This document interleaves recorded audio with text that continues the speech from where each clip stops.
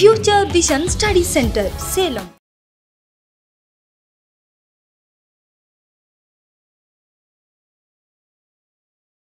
இப்போ நம்ம என்ன பார்க்க போகிறோம்னா நம்ம டாப்பிக்கினுடைய அதாவது கட்சிகளும் அரசியல் கட்சிகளும் மல மக்கள் நல திட்டங்களும் அப்படிங்கிற டாப்பிக்கில் இருக்கிற கடைசி.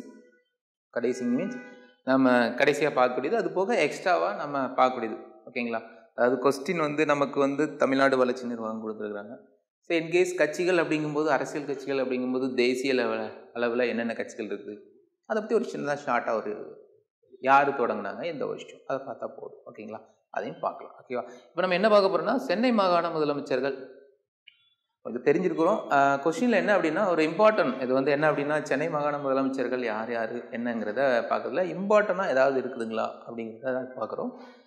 மெட்ராஸ் சட்டமன்றத்தின் முதல் முதலமைச்சர். இது ஆல்ரெடி உங்களுக்கு தெரிஞ்சது தான் பட் நான் ஷார்ட் ஃபார்மில் எழுதி போட்டிருக்குது. நீதி கட்சியுடைய தலைவராக நீதி கட்சி சார்பாக தேர்ந்தெடுக்கப்பட்ட சுப்பராயலு அவங்க தான் வந்து சென்னை மாகாணத்தோட முதல் முதலமைச்சர். தொடர்ச்சியாக இரண்டு முறை முதலமைச்சராக இருந்தவர். ஃபஸ்ட்டு இதெல்லாமே ஃபஸ்ட்டு தொடர்ச்சியாக இரண்டு முறை முதலமைச்சராக இருந்தவர் முதல் முறையாக. யார் அப்படின்னா பனகல் ராஜா தான் அவங்க தான் ஓகேங்களா நெக்ஸ்ட் வந்து பார்த்தீங்கன்னா சுயேட்சை வேட்பாளராக இருந்து முதலமைச்சரானவங்க ஃபஸ்ட்டு யார் அப்படின்னா சுப்பராயன். பார்த்தா இல்லைங்களா நீதி கட்சி ஆட்சியில் வந்து சுயராட்சிய கட்சி வந்து ஜெயிச்சிருக்கோம். அவங்க வந்து ஆட்சி அமைக்க மறுப்பாங்க. அப்போ வந்து சுயேட்சையை வந்து ஆட்சி அமைக்க சொல்லுவாங்க இல்லைங்களா? அவங்க அந்த மாதிரி. அடுத்து வந்து ராவ் திவான் பட்டம் பெற்ற முதல்வர் யாருன்னு கேட்கலாம் அதில் முனுசாமி நாயுடு. அவங்க தான் ராவ் திவான் பட்டம் பெற்றவங்க. கடைசியாக வந்து நீதி கட்சி சார்பாக தேர்ந்தெடுக்கப்பட்ட கடைசி முதல்வர் கேட்கலாம். ஸோ கேவி ரெட்டி ஞாபகம் வச்சுக்கோங்க. இது ஒன்று அடுத்து வந்து வயதான தமிழக முதலமைச்சர். அது எப்படி கேட்பாங்கன்னா சுதந்திரத்துக்கு பிறகு சுதந்திரத்துக்கு பிறகு முதல் முறையாக வயதான முதலமைச்சராக தேர்ந்தெடுக்கப்பட்டவர் அப்படின்னு கேட்கலாம். யார் அப்படின்னா ராஜாஜி அவங்க. அவங்களா ஃபஸ்ட்டு ஃபஸ்ட்டு எல்லாமே. அடுத்து மூன்று முறை அவசர கால முதல்வராக இருந்தவர் யார் அப்படின்னா வி ஆர் நெடுஞ்செழியன். அவசர கால சட்டம் குடியரசுத் தலைவர் ஆட்சி பிறப்பிக்கும் போது மூன்று முறை முதலமைச்சராக பதவி வகித்தவங்க யார் அப்படின்னா KV sorry V R Nedunchezhiyan. Next வந்து பார்த்தீங்கன்னா நீண்ட நாட்கள் முதலமைச்சராக பதவி வகித்தவங்க யார் அப்படின்னா மு கருணாநிதி. டே பார்த்தீங்கன்னா ஆறாயிரத்தி எட்நூற்றி அறுபத்தி மூணு நாட்கள் முதல்வராக பதவி வச்சிருப்பாங்க. பார்த்து வச்சுக்கோங்க.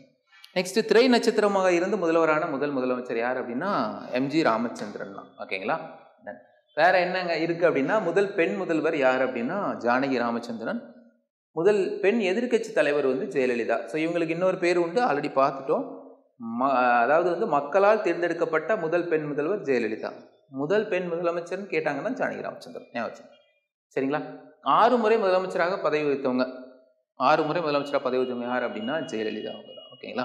ஸோ இதுதான் சீஃப் மினிஸ்டர் பற்றி சும்மா ஷார்ட் நோட்ஸ் ஓகேங்களா? இப்போ தேசிய கட்சிகளின் வரலாறு. தேசிய கட்சிகள்லாம் உங்களுக்கு தெரிஞ்சிருக்கும். ரெண்டே கட்சி உங்களுக்கு வந்து வந்திருக்கும். இந்த கட்சிகளை பொறுத்தவரை வலதுசாரிகள் இடதுசாரிகள் தனித்தனியாக பிரிப்பாங்க. இடதுசாரிகள் அப்படின்னா என்ன சொல்லுவோம் அப்படின்னா கம் கம்யூனிஸ்ட் ஃபார்முலான்னு சொல்லலாம். ஓகேங்களா? அதாவது கம்யூனிஸ்ட் ரிலேட்டடாக வரக்கூடியது. பொது உடைமை கொள்கை பொது உடைமை ரிலேட்டடாக இருக்கக்கூடிய எல்லாமே இடதுசாரிகளோட வலதுசாரிகள் அப்படின்னா கேபிட்டலிசம் முதலாளித்துவத்தை ஆதரிக்கிற மாதிரி இருக்கிறது எல்லாமே வலதுசாரிகள் வரும் ஸோ இதில் வந்து பார்த்தீங்கன்னா நமக்கு எல்லா எப்போதுமே தெரிஞ்சது. அதாவது மெயினாக என்ன அப்படின்னா இந்திய தேசிய காங்கிரஸ் தான் வந்து ஆட்சியாக வந்து அவங்க தான் வருவாங்க. ஸோ அதுலேருந்து ஒன் பை ஒன்னாக பிரிஞ்சு தனித்தனியாக வந்து உருவெடுத்திருப்பாங்க. சிபிஐ சிபிஎம் ஓகேங்களா? இவங்கெல்லாம் எப்படி உருவாகுறாங்க? அதுக்கப்புறம் ஜனசங்கம்லேருந்து எப்படி வந்து பாரதிய ஜனதா வருது? இந்த மாதிரி பார்க்கலாம். ஃபர்ஸ்ட் வந்து இந்திய தேசிய காங்கிரஸ் உங்களுக்கு தெரிஞ்சிருக்கும். எயிட்டீன் எயிட்டி ஃபைவ்ல ஃபவுண்டர் வந்து யார் அப்படின்னா ஏவா குயும் ஆலன் அக்டேவியன் குயும் பம்பாயில் நடந்திருக்கும். அதோடைய தலைவராக யார் இருப்பாங்க? அப்போ வந்து அந்த கூட்ட அந்த கூட்டத்துக்கு தலைவராக எடுத்தவங்க டபிள்யூசி பானர்ஜி. இது தெரிஞ்சது. சரி இதுக்கப்புறம் என்ன நடக்குது பாருங்க. ஆயிரத்தி தொள்ளாயிரத்தி ஆறில் முஸ்லீம் லீக் தோற்றுவிக்கப்படுது யார் அப்படின்னா நவாப் சலிமுல்லாவும் ஆஹா கானும் வந்து இதை தோற்றுவிக்கிறாங்க பதினாலில் நடக்கிற லக்னோ மாநாட்டில் இவங்க காங்கிரஸோட மீண்டும் இணைஞ்சிடுறாங்க. இணைவு அப்படின்னா வந்து யார் கூடனா காங்கிரஸோட மறுபடியும் இணைச்சிடுறாங்க. நெக்ஸ்ட் வந்து பார்த்தீங்கன்னா டுவெண்ட்டி டூ டுவெண்ட்டி த்ரீல கயா காங்கிரஸ் மாநாட்டில் வந்து என்ன அப்படின்னா க உங்க என்ன அதாவது எலெக்ஷனில் நம்ம கலந்துக்கலாம் அப்படின்னு சொல்லி ஒரு கருத்தை வைப்பாங்க. கலந்துக்க மறுக்கும்போது என்ன பண்ணுவாங்க அப்படின்னா சிஆர் தாஸும் மோதிலால் நேரு ரெண்டு பேரும் சேர்ந்துக்கிட்டு என்ன பண்ணுவாங்க அப்படின்னா சுயராஜ்ய கட்சின்னு தோற்று வச்சிருவாங்க. ஓகேங்களா ஆனால் இவங்க என்ன பண்ணுவாங்கன்னா ஆயிரத்தி தொள்ளாயிரத்தி இருபத்தஞ்சு காங்கிரஸ் க மாநாட்டு நடக்கும்போது அங்கே இணைஞ்சிருவாங்க. காங்கிரஸில் ஆயிரத்தி தொள்ளாயிரத்தி இருபத்தஞ்சில் இணைஞ்சிருவாங்க சுயராஜ்ய கட்சி. இதுதான் சிம்பிள். போதும். இந்த அளவு பார்த்தா போதும். நெக்ஸ்ட் வந்து பார்த்தீங்கன்னா இந்திய கம்யூனிஸ்ட். கம்யூனிஸ்ட் அப்படின்னாலே உங்களுக்கு வந்து என்ன அப்படின்னா ரஷ்யாவுடைய தாக்கம்னு சொல்லுவாங்க. ரஷ்யாவுடைய தாக்கம் பொது உடைமையோட தாக்கம் அதனுடைய தாக்கத்தில் தோற்றுவது. தலைவர்கள் இருந்தாலும் முதலாவது நம்ம இந்தியாவில் அந்த மாநாடு இது சம்மந்தமாக ஃபஸ்ட்டு ஃபவுண்டர்னு வந்து நம்ம இந்தியாவில்னு பார்த்தோம் அப்படின்னா யார் வருவாங்க அப்படின்னா எம்என் ராய் வந்து வருவாங்க. ஓகேங்களா தாஷ்கண்டில் நடந்த ஒப்பந்தம் சொல்லுவாங்க ஆயிரத்தி தொள்ளாயிரத்தி இருபதில். அதுக்கப்புறம் வந்து என்னென்னா இந்த கம்யூனிஸ்ட்னு சொல்லிட்டு அதாவது காங்கிரஸ்லேருந்து காங்கிரஸ்லேருந்து க- இவங்க காங்கிரஸ் கூட தான் இருப்பாங்க. காங்கிரஸ் கூடயே தான் பயணிப்பாங்க. ஆனால் ஒரு சில இடங்களில் வந்து வேறுபடுவாங்க. அப்படிங்கும்போது இவங்க வந்து கம்யூனிஸ்ட் எங்களுக்கு ஃபு- அதாவது என்னதுன்னா கம்யூனிஸ்டாகவே இருக்க விரும்புவாங்க ஃபுல்லாக இப்போ தீ தீவிரவாதிகளில் மிதமான தீவிரவாதிகள் சொல்லுவாங்க இல்லைங்களா? மிதவான மிதவாதிகள் அந்த மாதிரி. இவங்க ஃபுல்லாகவே நாங்கள் கம்யூனிஸ்டாகவே இருக்கணும் அப்படிங்க விரும்புகிறாரு ஸோ ஃபஸ்ட்டு மாநாடு யார் அப்படின்னா எம்என் ராய் வந்து பம்பாயில் மீட்டிங் போட்டிருப்பாங்க. ஆயிரத்தி தொள்ளாயிரத்தி பதினேழில் நடந்த ரஷ்ய புரட்சி பொதுவுடன் கொள்கை தாக்கத்தினால இது வந்து வந்திருக்கும். ஓகேங்களா ஸோ இவங்க எப்போ அந்த அவங்க கூட பயணிச்சுட்டு இருப்பாங்க. ஆயிரத்தி தொள்ளாயிரத்தி இருபத்தி ஒம்போதில் என்ன நடக்கும் அப்படின்னா மீரட் சதி வழக்கு வரும். காங்கிரஸ் இதுலேருந்து வெளியே வந்துருவாங்க. மீரட் சதி வழக்குன்னா நம்ம பகத்சிங் இருக்காங்க இல்லையா? அவங்க அந்த பார்லிமெண்ட்டில் குண்டு போடுறதுல வரும். ஓகேங்களா? ஸோ அது அந்த வழக்கு வரும்போது மீரட் சதி வழக்கில் வந்து ரிலேட்டடாக காங்கிரஸினுடைய காங்கிரஸினுடைய போக்கை வந்து கண்டித்து என்ன பண்ணுவாங்க அப்படின்னா இவங்க வந்து காங்கிரஸ்லேருந்து வெளியில் வந்துடுவாங்க ஓகேங்களா? ஸோ இதுதான் ஸோ இயர் பார்த்தீங்கன்னா ஆயிரத்தி தொள்ளாயிரத்தி இருபத்தி அஞ்சு முக்கியமான மொத மா அந்த மாநாடு நடந்தது பம்பாயில் நடந்திருக்கும். முக்கியமான தலைவர் யார் அப்படின்னா எம்என் ராய்.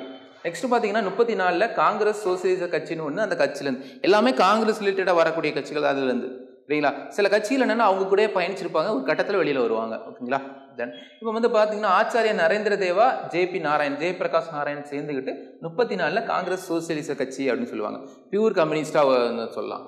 சில இல்லை அவங்க பியூர் கம்யூனிஸ்டாக இல்லை நாங்கள் வந்து இந்த மாதிரி கட்சி தொடங்குறோம் தனியாக வரும். அதில் அந்த கட்சியினுடைய கொள்கைகளுக்கு சில முரண்பட்டு இவங்க தொடங்குவாங்க. ஒரு சில கட்சிகள் அவங்க கூட பயணிப்பாங்க ஆனால் கொள்கைகள் வந்து கொஞ்சம் வேறுபடும். நெக்ஸ்ட் பார்த்தீங்கன்னா சுதந்திர தொழிலாளர் கட்சி ஆயிரத்தி தொள்ளாயிரத்தி முப்பத்தி ஒம்போதில் யார் அப்படின்னா நம்ம டாக்டர் அம்பேத்கர் அவங்க தொடங்கியிருப்பாங்க. பிஆர் அம்பேத்கர் தொடங்கியிருப்பாங்க.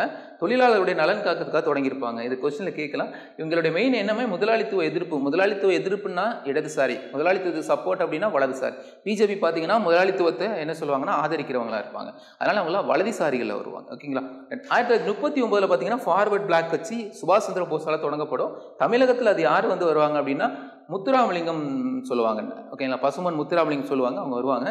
ஏன் அப்படின்னா தேர்ட்டி நைனில் அப்படின்னா காங்கிரஸுடைய காங்கிரஸ் மாநாட்டில் திரிபுராவில் நடக்கிற மாநாட்டில் காந்தி கூட ஒரு சின்ன முரண்பாடு அவருக்கு சின்ன முரண்பாடு நடந்ததில் வெளியில் வந்துடுவாங்க ஓகேங்களா ஸோ வெளியில் வந்ததுக்கப்புறம் அவங்க வந்து இந்த கட்சி ஆரம்பிப்பாங்க. அடுத்து நாற்பத்தி எட்டில் இந்தியன் யூனியன் முஸ்லீம் லீக்னு சொல்லி தோற்றி கூட தோற்றி யார் அப்படின்னா காகிதே இல்லை ஓகேங்களா இன்னும் தேசிய கட்சிகளுக்கு தான் இருக்குது. நம்ம பார்க்கலாம். இப்போ பார்த்தீங்கன்னா நம்ம தேசிய கட்சியினுடைய வரலாறுல நாம் கடைசி. அதாவது நான் ஆல்ரெடி நான் பார்த்தேன் இல்லைங்களா? கட்சிகளும் நலத்திட்டங்களும் பார்த்தோம். தமிழ்நாடு கட்சிகளை பார்த்தோம். இதில் தேசிய கட்சிகளோட வரலாறுல ஃபைனலாக நம்ம கம்ப்ளீட் பண்ண போகிறோம் இதில். என்ன அப்படின்னா நம்ம இது, தேசிய கட்சிகளில் என்னென்ன கட்சிகள்ங்கிறத நம்ம ஆல்ரெடி பார்த்தோம். இந்திய தேசிய காங்கிரஸ் அதுக்கப்புறம் ஒன் பை ஒன்னா சிபிஐ இதெல்லாம் பார்த்தோம் இல்லைங்களா? ஸோ அதுக்கப்புறம் கடைசியாக நாம் பார்க்க போகிறது என்னதுன்னா அதனுடைய தொடர்ச்சியாக வேறு என்னென்ன கட்சிகள்லாம் தொடங்கப்பட்டுச்சு அப்படிங்கிறத வரிசையாக பார்க்கலாம் இப்போ வரைக்கும். ஓகேங்களா? சரி அது போக வேறு மாநிலங்களில் இருக்கிற சில கட்சிகள். ஓகேங்களா? ஒரு ரெண்டு ஸ்டேட்டு மூணு ஸ்டேட்டில் வந்து அந்த கட்சிகள் வந்து தேசிய கட்சிகள் அந்தஸ்து பெற்றிருக்கோம். மாநில கட்சி அந்தஸ்து பெற்றிருக்கோம். அந்த மாதிரி உள்ளதை நம்ம இப்போ பார்க்கலாம். இப்போ என்ன பார்த்தீங்கன்னா காங்கிரஸ்லேருந்து சோசலிஸ்ட் வந்து வெளியேறாங்க எப்போ அப்படின்னா அவங்களுக்கு ஆயிரத்தி தொள்ளாயிரத்தி நாற்பத்தி எட்டில் வெளியேறி முடித்த உடனே என்ன பண்ணுறாங்க பாருங்க சோசியலிஸ்ட் கட்சி அப்படின்னு சொல்லி ஒரு கட்சி உருவாகுது ஆயிரத்தி தொள்ளாயிரத்தி ஐம்பத்தி ஒன்றில் எகெயின் அதே இதில் கிசான் மஸ்து பிரஜா அப்படின்னு சொல்லிட்டு இன்னொரு கட்சி வந்து உருவாகுது உங்களுக்கு. ஓகேங்களா? இதில் பார்த்தீங்கன்னா இந்த ரெண்டு கட்சியுமே தனித்தனியாக பர்சன் உருவா உருவாக்குறாங்க ஆயிரத்தி தொள்ளாயிரத்தி ஐம்பத்தி ஒன்று நாற்பத்தெட்டில் வந்து என்ன வெளியேறுதல் அப்படின்னா காங்கிரஸ்லேருந்து சோஷியலிஸ்ட் வெளில வராங்க. வந்த உடனே என்ன நடக்குது பாருங்க ஐம்பத்தி ஒன்றில் சோசியலிஸ்ட் கட்சி கிசான் மஸ்து பிரஜா அப்படின்னு சொல்லிட்டு ரெண்டு கட்சிகள் உங்களுக்கு உருவாகுது. இந்த ரெண்டையுமே என்ன பண் இந்த ரெண்டையுமே சேர்த்து தான் என்ன பண்ணுறாங்க அப்படின்னா உங்களுக்கு இந்த ரெண்டையுமே சேர்த்து தான் உங்களுக்கு என்ன கட்சி வருது? பிரஜா சோசியலிஸ்ட் அப்படின்னு சொல்லி ஆயிரத்தி தொள்ளாயிரத்தி ஐம்பத்தி ரெண்டில் உருவாகுது. ஸோ அதுதான். அதாவது காங்கிரஸ்லேருந்து சோசியலிஸ்ட் வெளியேறி ஒரு ரெண்டு கட்சி தொடங்குறாங்க. சோசியலிஸ்ட் கட்சி ஜேபி நாராயணனும் கிசான் மஸ்து பிரஜாவை ஜேபி கிருபாலினியும் தொடங்குறாங்க. தொடங்கி தொடங்குறாங்க. தொடங்கினதுக்கப்புறம் இந்த ரெண்டும் ஆயிரத்தி தொள்ளாயிரத்தி ஐம்பத்தி ரெண்டில் மெர்ஜ் ஆகி பிரஜா சோசியலிஸ்டாக மாறுது. சரி வேறு என்னங்க இருக்குது அப்படின்னா முக்கியமான கட்சி இப்போ நம்ம இந்தியாவை வந்து ஆண்டிட்டு இருக்கிற ஒரு கட்சி இது ஒரு வலதுசாரி கட்சி. வலதுசாரின்னு ஆல்ரெடி சொல்லிட்டீங்க இல்லையா? முதலாளித்துவத்துக்கு சப்போர்ட் பண்ணுற கட்சி இடதுசாரிக்கு நேர் ஆப்போசிட் பழமைவாதத்தை நம்புற கட்சி அப்படின்னு சொல்லலாம். ஸோ என்னன்னு பாருங்க ஐம்பத்தி ஒன்றுலேருந்து ஐம்பத்தி ரெண்டு வரைக்கும் ஜனசங்கம்னு ஒன்று உரு உருவாக்குறாங்க. இதுதான் இப்போ வந்து பாரதிய ஜனதாவாக வந்திருக்கும். எல்கே அத்வானி வாஜ்பாய் போன்ற தலைவர்கள் அதை பாரதிய ஜனதாவாக மாற்றிருப்பாங்க பார்க்கலாம். அது தொடக்கத்தில் என்ன இருந்துச்சு பாருங்க ஐம்பத்தி ஒன்று ஐம்பத்தி ரெண்டில் ஜனசங்கமாக இருந்துச்சு. தொடங்குனவங்க ஷியாம் பிரசாத் முகர்ஜி. இவங்க தான் தொடங்கினது. அதான் ஆயிரத்தி தொள்ளாயிரத்தி ஐம்பது எண்பதில் பாரதிய ஜனதாவாக மாறுது. அந்த பாரதிய ஜனதா மாற்றினது யாருன்னா ஒரு முக்கியமான தலைவர்கள்லாம் வருவாங்க. முரளி மனோகர் ஜோஷி ஜோஷி அதுக்கப்புறம் எல்கே அத்வானி வாஜ்பாய் போன்ற தலைவர்கள் அதை மாற்றுவாங்க இது வலதுசாரி கட்சி. ஓகேங்களா? நெக்ஸ்ட் பாருங்கள் அறுபத்தி ரெண்டு நம்ம சைனா வாருக்கு அப்புறம் என்ன நடக்குதுன்னா ஒரு கம்யூனிஸ்ட்லேயே ஒரு சின்ன சேஞ்சஸ் நடக்குது. அறுபத்தி ரெண்டில் வந்திருக்கும். அறுபத்தி நாலில் மார்க்ஸ் கம்யூனிஸ்ட் கட்சி கட்சி அப்படின்னு சொல்லிட்டு ஒரு கட்சி உ- உருவாகுது. சிபிஐ சிபிஐலேருந்து சிபிஎம்னு ஒன்று தனியாக பிரியுது. அதான். சிபிஎம் தனியாக பெரியது. இது தொடங்கணும் யாருன்னா நம்பூதிரி பாட் ஜோதி பாஸ்னு சொல்லுவாங்க இன்னொன்று ஏகே கோபாலன். இவங்க தான் தொடங்குனது. கேரளாவில் இந்த கம்யூனிஸ்ட் பார்ட்டியோட ஆதிக்கம் அதிகமாக இருக்கும். ஓகேங்களா? சுத்தியல் வச்சு ஒன்று இருக்கு இல்லைங்களா? அதாவது கதிரர்வால் வச்சு ஒரு க க- இருக்கும். சுத்தியல் வச்சு ஒரு சின்ன இருக்கு இல்லைங்களா? அது அது மேக்ஸிமம் எங்கே இருக்குன்னா கேரளாவில் வந்து ஆட்சி பெரும்பான்மை பெற்று இது ஆட்சி பிடிக்கும் இந்த கட்சி. மார்க்சிஸ்ட்னு சொல்லுவாங்க. அது அது அறுபத்தி நாலில் தொடங்கப்பட்டுச்சு. ஓகேங்களா? நெக்ஸ்ட் பார்த்தீங்கன்னா சுதந்திரா கட்சின்னு ஆயிரத்தி தொள்ளாயிரத்தி ஐம்பத்தி ஒம்போதில் ராஜாஜிவால் தொடங்கப்பட்டது. இந்த கட்சி என்ன அப்படின்னா வலதுசாரி கட்சி பழமைவாத கட்சி முதலாளித்துவத்துக்கு ஆதரவு கொடுக்குற கட்சிகள். ஓகேங்களா? ரைட் நெக்ஸ்ட் பாருங்க. ஆயிரத்தி தொள்ளாயிரத்தி எழுபத்தி ஏழில் ஜனதா கட்சி கூட்டணின்னு நடக்குது. ஏன்? என்ன ரீசன் அப்படின்னா எழுபத்தி அஞ்சுலேருந்து எழுபத்தி ஏழு வரைக்கும் எமர்ஜென்சி பாஸ் பண்ணிடுவாங்க நேஷனல் லெவலில் எமர்ஜென்சி இந்திரா காந்தி பாஸ் பண்ணிடுவாங்க பாஸ் பண்ணி எல்லா தலைவர்களையும் வந்து அரெஸ்ட் பண்ணுவாங்க. ஸோ அரெஸ்ட் பண்ணும்போது எல்லா தலைவர்களும் ஒன் ஒன்றா கூடி ஒரு கட்சி கூட்டணின்னு வைப்பாங்க. வச்சு அவங்க ஆட்சியில் அமருவாங்க அதுதான் என்னதுன்னா ஜனதா கட்சி கூட்டணி. ஆயிரத்தி தொள்ளாயிரத்தி எழுபத்தி ஏழில் ஜனதா கட்சி கூட்டணின்னு வரும். ஏன்னா அந்த எழுபத்தி அஞ்சுலேருந்து எழுபத்தி ஏழு வரைக்கும் என்ன நடக்குன்னா எமர்ஜென்சி பீரியடாக இருக்கும். எல்லா தலைவர்களையும் அரெஸ்ட் ஜெயிலில் போட்டுட்ருப்பாங்க ஸோ அந்த நேரத்தில் ஜனதா கட்சி கூட்டணின்னு வருது. இதில் ஒரு மூணு கட்சிகள் ஒன்றா சேர்ந்துடும் என்னென்னா ஜனசங்கம் லோக்தல் சோசியலிஸ்டோட சோசியலிஸ்ட் அப்படின்னு சொல்லுவாங்க. இதோட தலைவர் என்ன? ராஜ் நாராயணன் ஜனசங்கம் அப்படின்னா நம்ம ஆல்ரெடி பார்த்தாங்களா அது. லோக்தல் அப்படின்னா ஜெயபிரகாஷ் நாராயணன். இந்த மாதிரி மூணு பேரை ஒன்று சேர்ந்து இந்த கட்சி கூட்டணியோட இது தொடங்குவாங்க. தலைவரை யார் இருப்பாங்கன்னா ஜெயபிரகாஷ் நாராயணன் இருப்பாங்க. அவங்களுடைய தலைமையில் தான் ஆயிரத்தி தொள்ளாயிரத்தி எழுபத்தி ஏழுலேருந்து எழுபத்தொம்போது வரைக்கும் மொரா மொரார்ஜி தேசாய் அவங்களுடைய ஆட்சி நடக்கும். இந்திரா காந்திக்கு அப்புறம் மொராஜி தேசாயோட ஆட்சி எப்போ நடக்கும் அப்படின்னா இந்த பீரியடில் தான். இது காரணமான கூட்டணி என்னன்னா ஜனதா கட்சி கூட்டணி. தலைவரை யார் இருந்துப்பாங்கன்னா ஜெயபிரகாஷ் நாராயண் இருந்திருப்பாங்க. நெக்ஸ்ட் பார்த்தீங்கன்னா இந்த ஜனதா கட்சி வந்து அதுலேருந்து க பிரிய ஆரம்பிக்குது. ஜனதா கட்சி வந்து அதுலேருந்து பிரிய ஆரம்பிக்குது. என்ன நடக்க ஜனதா கட்சியிலேருந்து மதசார்பட்ட அப்படின்னு சொல்லிட்டு ஒரு கட்சி உருவாகுது. அவங்க எயிட்டியில் வந்து ஆட்சியை பிடிச்சிருப்பாங்க. ஜஸ்ட் ஒரு டுவெண்ட்டி ஃபோர் டேஸ் வந்து இருந்திருப்பாங்க ஆட்சியில். ஓகேங்களா எயிட்டியில் நைன்டீன் எயிட்டியில் வந்து இந்த கட்சியிலேருந்து க இவங்க குறிப்பிட்டவங்க வந்து நாங்கள் மதசார்பட்ட ஜனதா கட்சின்னு சொல்லி தொடங்கியிருப்பாங்க. ஓகேங்களா தொடங்கின யார் அப்படின்னா இந்த ராஜ் நாராயணன் சொல்லிட்டு அவங்க தான் வந்து இது பண்ணுவாங்க. ஓகேங்களா மதசார்பற்ற ஜனதான்னு தொடங்குவாங்க. ஸோ இதில் வந்து காங்கிரஸ் வந்து இந்த கட்சிக்கு ஆதரவு வரைக்கும் ஸோ இந்த கட்சியை சேர்ந்தவங்க பிரதமராக இருந்தது யார் அப்படின்னா சரண் சிங் சொல்லுவாங்க. இருபத்தி நாலு நாள் இருபத்தி நாலு நாட்கள் வந்து அவங்க ஆட்சியில் இருந்திருப்பாங்க. நெக்ஸ்ட் ஜனதாவே கம்ப்ளீட்டாக ஃபுல்லாக செதறும் செதறுது. ஆயிரத்தி தொள்ளாயிரத்தி எண்பதில் தான் ஜனதா கட்சியாக அமர் நெக்ஸ்ட் பாருங்க பாரதிய ஜனதா கட்சின்னு ஒன்று உருமாறுது. ஜனசங்கத்தை பாரதிய ஜனதா கட்சியாக மாத்துறாங்க. யார் அப்படின்னா அத்வானி வாஜ்பாய் முரளி மனோகர் சோசி முக்கிய தலைவர்கள் இவங்கெல்லாம். எத்- அத்வானி வாஜ்பாய் தான் இதை வந்து என்ன பண்ணுவாங்க அப்படின்னா பாரதிய ஜனதாவை மாற்றுவாங்க இப்போ யாரோட கையில் இருக்குது அப்படின்னா மோடி அமித்ஷா ஜேபி நட்டா. ஸோ இப்போ நம்மளுடைய இந்தியாவை ஆண்டுட்டு இருக்குது இது பிஜேபி பார்ட்டி தான். இது வந்து வலதுசாரி கட்சி பழமைவாதத்தை ச விரும்புகிற கட்சி. அதுபோக முதலாளித்துவத்துக்கு சப்போர்ட் பண்ணுற கட்சி.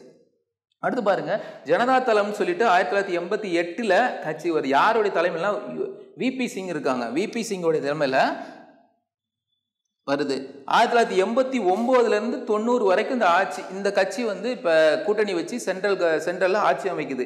யாருடைய கூட்டணி அப்படின்னா லோக்தல் மற்றும் இடதுசாரிகள். இவங்களுடைய சப்போர்ட்டில் நடக்குது. இந்த ஜனதா தளத்தில் வந்து யார் வந்து பிரைம் மினிஸ்டராக இருந்தாங்க அப்படின்னா அவங்க யார் அப்படின்னா விபி சிங் எண்பத்தி ஒம்போதுலேருந்து தொண்ணூறு வரைக்கும் இருந்திருப்பாங்க இவங்க. இது ஒரு கட்சி அடுத்து ஜனதாத்தில் கம்ப்ளீட்டாக உடையுது. கம்ப்ளீட்டாக அதாவது ஜனதா கட்சி கூட்டணி உடையுது.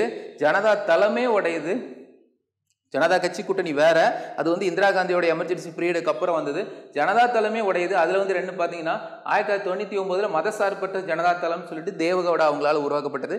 கேரளா கர்நாடகாவில் ஸ்டேட் பார்ட்டியாக அவங்களுக்கு இருக்கும் இந்த கட்சிகள். அடுத்து பார்த்தீங்கன்னா ஜனதா தளம் ஒருங்கிணைந்த அதாவது இது செக்யூலர் ஜனதா தளம்னு சொல்லுவாங்க. இதை யுனைடெட் ஜனதா தளம்னு சொல்லுவாங்க. இந்த கட்சிக்கு யாருன்னு அப்படின்னா பீகார் சைடு வரும் நிதிஷ்குமார் சரத் யாதவ் வந்து இதில் வந்து தலை இவங்க தான் இதோட தொடக்கத்தில் இருப்பாங்க. இந்த கட்சிக்கு யாருடைய ஆதரவு அப்படின்னா பாரதிய ஜனதா கட்சியோட ஆதரவில் இந்த கட்சி இருக்கும். நெக்ஸ்ட் வந்து பார்த்தீங்கன்னா வேற மாநில கட்சிகள் ஏதாவது இருக்குதானா? இருக்குது. என்னன்னு பாருங்க. அதில் தொண்ணூற்றி ரெண்டில் ஜனதா தளம் சமச்சுவாடி கட்சி யூபியில் வந்து ஒரு ஜனதாதள் வந்து சமாஜ்வாடி கட்சி இது ஒரு ஜனதாதள் கட்சி தான் ஆனால் அது சமாஜ்வாடி கட்சின்னு சொல்லுவாங்க. உத்தரப்பிரதேசத்தில் இருக்கிறது முகலாயம் சிங் யாதவ் அகிலேஷ் யாதவ் அவங்களுடைய தலைமையில் உத்தரப்பிரதேசத்தில் ஒரு ஸ்டேட் பார்ட்டியாக இருக்கிற ஒரு பெரிய கட்சி இது. அடுத்து பாருங்கள் தொண்ணூற்றி ஏழில் ராஷ்ட்ரிய ஜனதாதளம் சொல்லிட்டு பீகாரில் இருக்கிற கட்சி. இந்த கட்சிக்கு வந்து லல்லு பிரசாத் யாதவ். அவங்க ஓகேங்களா? அந்த கட்சி அந்த ஸ்டேட்டில் இருக்கிற ஒரு மிகப்பெரிய கட்சி இது. ஓகேங்களா? நெக்ஸ்ட் வந்து பார்த்தீங்கன்னா பிஜு ஜனதா தளம் ஆயிரத்தி தொள்ளாயிரத்தி தொண்ணூற்றி ஏழில் ஒடிசாவில் ஒடிசாவை சேர்ந்தது. ஆயிரத்தி தொள்ளாயிரத்தி தொண்ணூற்றி ஏழில் உருவாக்கப்பட்டிருக்கும். இதெல்லாம் ஜனதா தளத்துலேருந்து வெளில வந்தது. ஜனதாதள் உடையதுன்னு சொன்னீங்களா? அந்த அந்த ஜனதா தளத்துலேருந்து உடைஞ்சது. அது ஒவ்வொரு மாநிலத்தில் தன்னோட கட்சிகளை தொடங்கி அங்கே ஆட்சியை பிடிச்சிட்டு இருந்தது. அதுதான் என்னதுன்னா சமாஜ்வாடி கட்சி ராஷ்டிரிய ஜனதா தளம் பிஜு ஜனதா தளம் பிஜு ஜனதா தளம் வந்து பார்த்தீங்கன்னா ஒடிசா ஆயிரத்தி தொள்ளாயிரத்தி தொண்ணூற்றி ஏழில் பிஜு பட்நாயக் நவீன் பட்நாயக். ஓகேங்களா? இவங்க தான் இந்த இதில் முக்கியமானாங்க நெக்ஸ்ட் பார்த்தீங்கன்னா எண்பத்தி நாலில் பகுஜன் சமாஜ் அப்படின்னு சொல்லி ஒரு கட்சி. இதில் யார் அப்படின்னா இதை யார் தொடங்கினா கன்ஷிராம்னு சொல்லுவாங்க. சோசியலிஸ்ட் பர்சன் சொல்லுவாங்க. கன்ஷிராம் அவங்களால் தொடங்கப்பட்டது. ஸோ மாயாவதி அவங்க ஆயிரத்தி தொள்ளாயிரத்தி தொண்ணூற்றி ஏழுலேருந்து ரெண்டாயிரத்தி ரெண்டு வரைக்கும் முதல்வர் இருந்து இரு- இருந்திருப்பாங்க. ஒடுக்கப்பட்டோர் நலனுக்காக தொடங்கப்பட்ட கட்சின்னு சொல்லுவாங்க. அதாவது ஒடுக்கப்பட்டோர் ஷெட்யூல் காஸ்ட் இதிலிருந்து முதல்வரான முதல் பெண்மணி யார் அப்படின்னா மா திரு மாயாவதி அவங்க தான் ஓகேங்களா நெக்ஸ்ட் பார்த்தீங்கன்னா இதெல்லாம் நம்ம பார்த்தது வந்து காங்கிரஸ்லேருந்து ஒன் பை ஒன்னாக பிரிஞ்சு வந்து அதுக்கப்புறம் கட்சிகள் எல்லாம் ஒன்றா சேர்ந்து கூட்டணி வச்சு அந்த கட்சிகள்லேருந்து பிரிஞ்ச கட்சிகள் அதிலிருந்து பிரிஞ்ச கட்சிகள். இதெல்லாம் நம்ம பார்த்தோம். ஜனதா த அதாவது ஜனதா கூட்டணி கட்சி கூட்டணியிலிருந்து அதுலேருந்து ரெண்டா பிரிஞ்ச கட்சி ஜனதாதள் அந்த ஜனதாதள் பிரிஞ்சு ஒவ்வொரு ஸ்டேட்டுக்கு தனித்தனியாக மாறுறது இது நெக்ஸ்ட் வந்து பார்த்தீங்கன்னா காங்கிரஸ்லேருந்து சில கட்சிகள் பிரிஞ்சு ஒவ்வொரு ஸ்டேட்டுக்காக வந்தது. அதில் முக்கியமான கட்சி என்னதுன்னா தொண்ணூற்றி எட்டில் அகில இந்திய திரிணாமுல் காங்கிரஸ்னு சொல்லுவாங்க. இதை தொடங்கினாங்க மேற்கு வங்காளத்தில் ரொம்ப பெரும்பான்மையாக இருக்கிற கட்சி பாண்டுட்டு கட்சி. அது யார் அப்படின்னா மம்தா பானர்ஜி திரு மம்தா பானர்ஜி அவங்களுடைய தலைமையில் செயல்படுற கட்சிகள். அடுத்து பார்த்தீங்கன்னா தேசியவாத காங்கிரஸ் சொல்லுவாங்க சரத் பவார் பி. எஸ். சங்மா அவங்களால ஆயிரத்தி தொள்ளாயிரத்தி தொண்ணூத்தி ஒன்பதுல தொடங்கப்பட்டது. மகாராஷ்டிராவில் ரொம்ப பெருமையான சரத்பவார் ரொம்ப பெருமையான உள்ளவங்க. ஸோ தேசியவாத காங்கிரஸ் சொல்லுவாங்க ஆயிரத்தி தொள்ளாயிரத்தி தொண்ணூற்றி ஒன்பதுல தொடங்கப்பட்டுச்சு. இந்த பி. எஸ். சங்மா தான் என்ன பண்ணுவாங்கன்னா ரெண்டாயிரத்தி பதிமூணுல என்ன பண்ணுவாங்க அப்படின்னா தேசிய மக்கள் கட்சின்னு ஒன்று தொடங்குவாங்க ஓகேங்களா? தேசிய மக்கள் கட்சிங்கிறது தேசியவாத காங்கிரஸ்லேருந்து பி. எஸ். சங்மா அவங்களால வெளியில் வந்து தொடங்கப்பட்ட கட்சி. கடைசியாக பார்த்தீங்கன்னா நம்ம தமிழ்நாட்டில் இருந்த தொடங்கப்பட்ட கட்சி ஆயிரத்தி தொள்ளாயிரத்தி தொண்ணூற்றி ஆறில் மூப்பனார் அவங்களால் தொடங்கப்பட்டது தமிழ் மாநில காங்கிரஸ்னு சொல்லிட்டு தொண்ணூற்றி ஆறில் வந்து என்னென்னா டிஎம்கேயோடைய திமுகவுடைய கூட்டணி வச்சு ஜெயிச்சு ஒரு பெரிய இடத்த வாங்க கட்சி. இவங்களுடைய இவங்களுடைய சன் வந்து பார்த்தா ஜி கே மூப்பனாருடைய சன் வந்து என்னென்னா மினிஸ்டராக சென்ட்ரல் மினிஸ்டராகலாம் இவங்க அதில் பதவி வகிச்சுப்பாங்க ஜி கே வாசன் அவங்க ஓகேங்களா இது வந்து தமிழ் மாநில காங்கிரஸ். இது வந்து காங்கிரஸ்லேருந்து பிரிஞ்சு ஒவ்வொரு மாநிலத்திலும் தங்களுடைய மெஜாரிட்டியை நிரூபிச்சிட்டு இருக்க ஸ்டேட் பார்ட்டிகள் இது வந்து ஸ்டார்டிங்லேருந்து காங்கிரஸ்லேருந்து வெளியில் வந்த கட்சிகள் கொஞ்சம் கொஞ்சமாக வெளில வந்த கட்சிகள் கூட்டணியாக அமைச்சு அதுலேருந்து ரெண்டாவதாக உருவானது. ஃபர்ஸ்ட் காங்கிரஸ் இருந்துச்சு அதுக்கப்புறம் காங்கிரஸுக்கு எதிராக ஜனதா கூட்டணி. அந்த ஜனதா கூட்டணியிலேருந்து பிரிஞ்ச கட்சிகள் ஒரு சில கட்சிகள் என்னதுன்னா அந்தந்த மாநிலத்தில் வந்தது. அதில் ஒரு கட்சி என்னது அப்படின்னா மிகப்பெரிய இடத்துல மிகப்பெரிய அளவில் வெளியில் வந்து மிகப்பெரிய க- தன்னுடைய கொள்கைகளால் மக்களால் ஈர்க்கப்பட்டு தொடர்ந்து ஆட்சியில் அமைஞ்சிட்டு இருக்க ஒரு கட்சி. ஃபர்ஸ்ட் வந்து பதிமூணு நாள் இருந்திருப்பாங்க பாரதிய ஜனதா. அடுத்து வந்து என்னதுன்னா பதிமூணு மாதங்கள் இருந்திருப்பாங்க. அதுக்கப்புறம் பார்த்தீங்கன்னா தொடர்ந்து இப்படியே கொஞ்சம் கொஞ்சமாக முன்னேறி இப்போ வந்து பார்த்தீங்கன்னா தொடர்ந்து என்ன சொல்கிறது பத்து வருஷமா ஆள்றாங்க. போன வருஷம் கடந்த ஐந்து வருஷமா ஆண்டாச்சு. இப்போ நடந்த பாராளுமன்ற எலெக்ஷன்ல ஜெயிச்சு அடுத்த அஞ்சு வருஷமும் தொடர்ந்துறாங்க ஸோ பாரதிய ஜனதா கட்சியுடைய வளர்ச்சி வந்து அபரிதமானது. உடஞ்ச கட்சிகளே ரொம்ப மெஜாரிட்டியாக காங்கிரஸுக்கு ஒரு எதிராக நின்று மிகப்பெரிய வெற்றி அடைந்த கட்சினா அது பிஜேபி ஸோ இதுதான் தேசிய கட்சிகளுடைய வரலாறு ஓகேங்களா? ஸோ உங்களுக்கு கட்சிகள் வரலாறு பார்த்தாச்சு ஆரம்ப நம்ம ஸ்டார்டிங்லேருந்து பார்த்தோம் இல்லைங்களா? தமிழ்நாடு இது எல்லாமே இதில் நீதி கட்சிகளுடைய சாதனைகள் நம்ம நம்ம ஆல்ரெடி பார்த்தாச்சு. ஸோ அதனால் அதை பார்த்து வச்சுங்க. நீதி கட்சிகளில் என்னென்ன சாதனைகள் பண்ணாங்கன்னு சொல்லிட்டு நம்ம மறுமலர்ச்சி இயக்கங்களின் பங்களிப்பில் நம்ம பார்த்துருப்போம். அது வந்து இதோடைய அதில் சேரும் ஓகேங்களா? அடுத்ததாக நாம் என்ன பார்க்கலாம் அப்படின்னா இடஒதுக்கீடு சம்பந்தமான விஷயங்கள் ஓகேங்களா இடஒதுக்கீடு எப்போ ஆரம்பிச்சிக்கப்பட்டது இடஒதுக்கீடு சம்பந்தமான என்னென்ன சட்டங்கள் வந்துச்சு? தொடக்கத்துலேருந்து சுதந்திரத்துக்கு முன்னாடி இடஒதுக்கீடு எப்படி இருந்துச்சு? சுதந்திரத்துக்கு அப்புறம் எப்படி வந்துச்சு இப்போ கரண்ட்ல இருக்கிற ரிசர்வேஷன் பாலிசி இடஒதுக்கீடு என்ன? தமிழ்நாட்டில் என்ன இருக்குது? அதாவது ஸ்டேட் வைஸாக நம்ம தமிழ்நாட்டில் என்ன இருக்குது? சென்ட்ரலில் இடஒதுக்கீடு என்ன இருக்குங்கிறத நம்ம அடுத்த கிளாஸில் பார்க்கலாம். Future Vision Study Center. SKS Hospital Road, opposite to Hotel Lashmi Prakash, near New Bus Stand, Salem. Cell 90420 30163.